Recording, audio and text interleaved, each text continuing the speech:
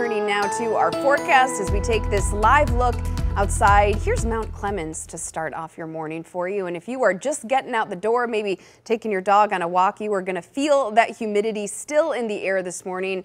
Now we're going to turn things over to Kevin Jeanes to see if any relief is in sight. Kevin? It is. Relief is in sight. Uh, I can actually say that this afternoon the humidity is going to drop off significantly. It's going to feel more comfortable outside this evening, but it's still going to be a hot day today. Temperature's still going to be around 90 this afternoon. This morning it's been about the thunderstorms rolling across the state. They've been moving from the southwest to the northeast.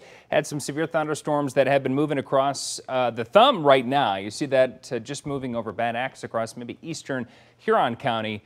And uh, that's continuing to move to the northeast. A couple of lightning strikes from that, just about approaching the Harbor Beach area, Port Austin, getting some uh, some some heavy rain right now, but have, have had some gusts that uh, have been approaching 60 miles per hour, so some damaging wind gusts moving across the thumb. Meanwhile, more thunderstorm activity over the southwestern part of the state. This should continue to weaken the atmosphere is less favorable of holding these together as it moves west to east into southeast Michigan this morning, so those should fade through the morning. I'll keep a low chance of a shower in the forecast through about 9 or 10 o'clock this morning, and then clouds clear out. We'll have brighter skies this afternoon, and the humidity drops in a big way this afternoon. It's going to be much less humid, but it will stay humid through this morning.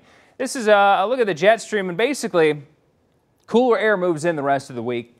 And then the jet stream lifts back to the north and we get hot air returning early next week. But the timing works out. If you wanted a cooler weekend, then we got it.